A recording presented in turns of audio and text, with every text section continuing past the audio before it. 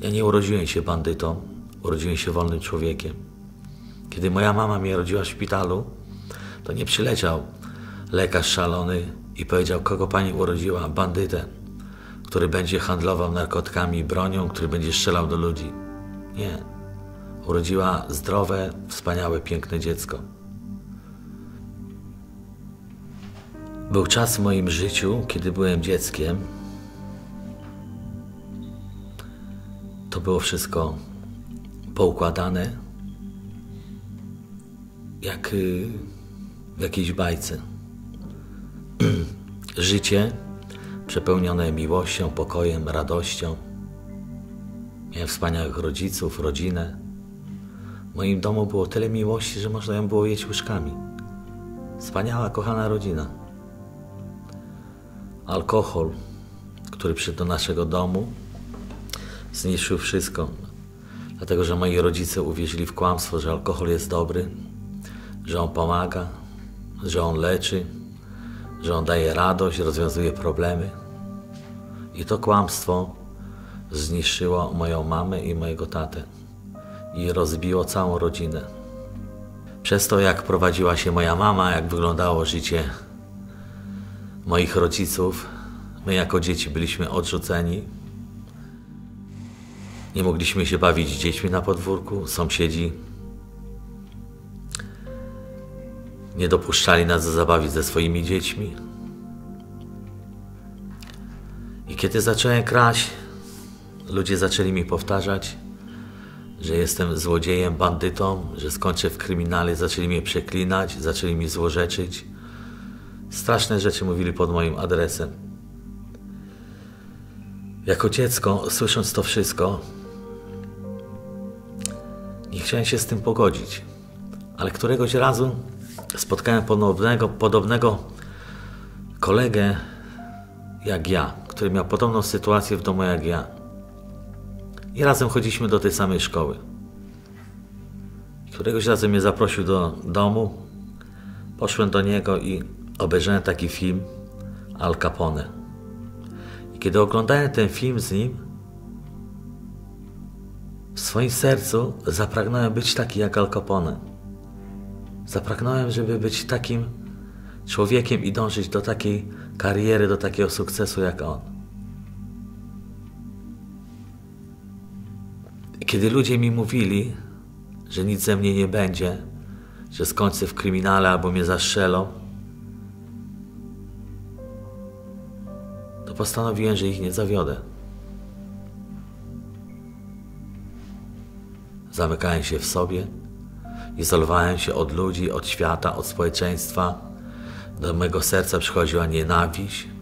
Nawet nie wiedziałem o tym i nie zdałem sobie sprawy, że nade mną zaczął panować diabeł. I to on mnie prowadził w tych złych, wszystkich złych rzeczach. I trafiłem któregoś razu do zakładu poprawczego. Kiedy do, trafiłem do zakładu poprawczego, nikt nie był w stanie zmienić mojego serca ani życia. Tak bardzo pragnąłem, żeby ktoś mnie przytulił, żeby ktoś wiedział, że jestem cenny, wartościowy. Wszyscy mnie od razu osądzali z góry. W zakładzie poprawczym przeżyłem straszne chwile, straszne rzeczy, nauczyłem się samych strasznych rzeczy. Nie da się w ogóle tego opisać, co człowiek przeżywa w takim miejscu. Ja pamiętam taki moment, jak bili mnie drutem do robienia siatki ogrodzeniowej, dlatego że uciekłem z zakładu. Ale nikt się mnie nie zapytał, dlaczego ja uciekłem. Nikt się nie, nie zapytał, co było powodem. Tylko po prostu znęcali się nade mną, bili mnie. I w moim sercu taka nienawiść się zrodziła do ludzi. Nienawidziłem ludzi, nienawidziłem tego wszystkiego, co się, się działo dookoła mnie.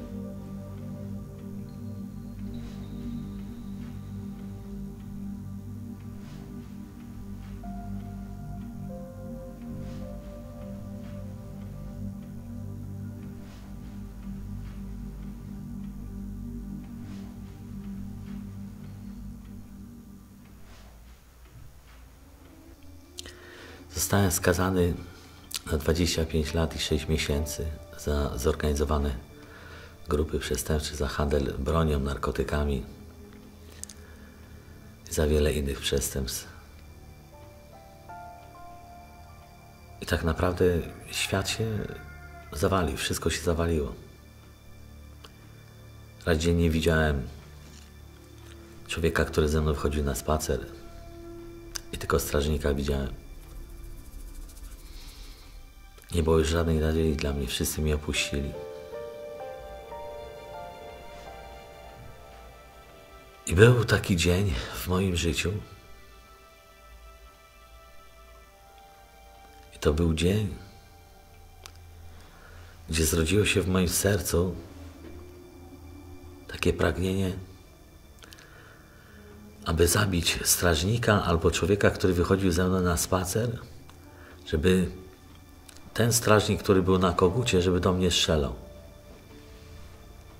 Tak sobie myślałem, że wtedy zginę, że wtedy mnie zabiją.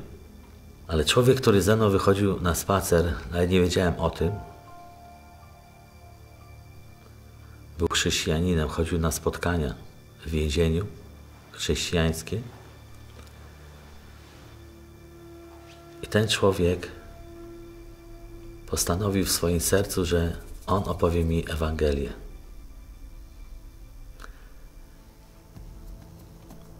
I kiedy ten człowiek wyszedł na spacer, żeby opowiedzieć mi Ewangelię, ja wyszedłem z myślami, żeby go zabić albo strażnika. I tak sobie chodziliśmy dookoła.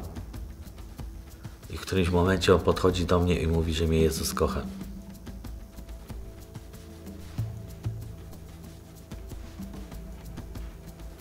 Tego człowieka zbiłem, zabrali go do szpitali, do szpitala, ale kiedy on leżał w szpitalu, on mnie nie przeklinał, nie złorzeczył.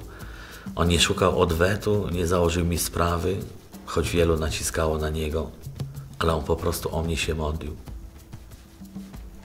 Miałem kolejną próbę samobójczą, podarznąłem sobie gardło i znów nie umarłem. I kiedy przywieźli mnie ze szpitala do więzienia, leżałem na łóżku, waliłem pięściami w ścianę i mówię, dlaczego ja nie mogę nawet umrzeć? Co się dzieje? I w tym momencie przypomniało mi się to wszystko, co się wydarzyło w moim życiu. Pojawił się przed moimi oczami film, tak jakbym siedział w kinie i go oglądał. Zobaczyłem od dzieciństwa aż do chwili, kiedy leżałem na tym łóżku moje życie. Jedna wielka tragedia. A Duch Święty przypomniał mi słowa, które ten człowiek do mnie powiedział, że Jezus mnie kocha. I zawołałem, Panie Jezu, jeżeli to jest prawda, jeżeli Ty jesteś, przyjdź do mnie, pomóż mi, albo mnie uwolni i zabierz stąd. I on przyszedł i stanął przede mną i powiedział, wstań, klęknij i wyznaj swoje grzechy.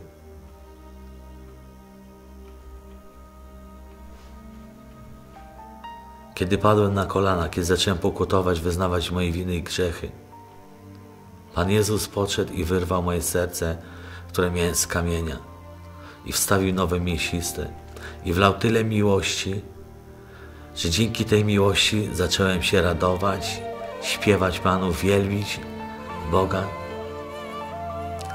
I byłem przepełniony miłością i radością.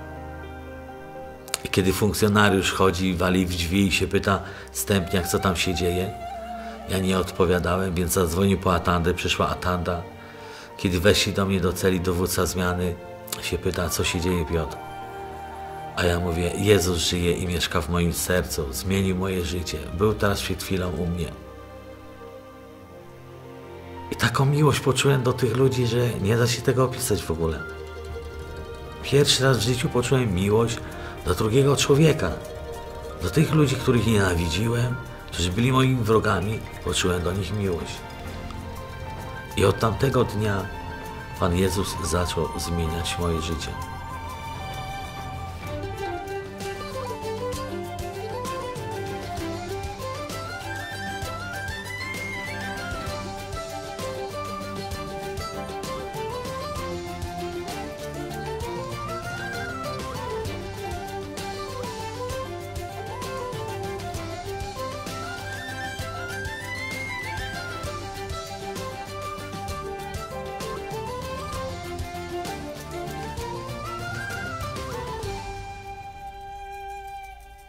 Kiedy stanąłem za bramą więzienną, powiedziałem: Boże, dziękuję Ci, że pozwoliłeś mi opuścić te mury i moja noga nigdy tu nie powstanie. A Pan Jezus do mnie mówi: Ty tam wrócisz. Ja mówię, ja tam nie pójdę. Pójdziesz tam, ja Cię posyłam. Ja tam nie pójdę. Ty tam pójdziesz. I dzisiaj dalej siedzę w więzieniu. Non stop jestem w więzieniu, non stop jestem w więzieniu i głoszę Ewangelię. Także nigdy nie wyszłem z tego więzienia. I ten wyrok jest coraz dłuższy, coraz dłuższy, dlatego że cały czas siedzę w tym więzieniu, bo głoszę Ewangelię. I tak Bóg zmienia moje życie, moje serce. I tak każdego dnia mogę doświadczać Jego łaski, Jego miłości. Dzisiaj Pan Jezus posyła mnie do szkół, do więzień, do szpitali, do domów dziecka, na ulice, do kościołów, do protestantów, prawosławnych, katolików, muzułmanów, świadków, abym zwiastował im dobrą nowinę. Darmo dostałem i darmo daję.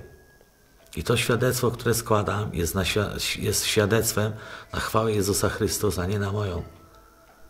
Nie na moją chwałę. Bo kim ja jestem? Jestem tylko człowiekiem.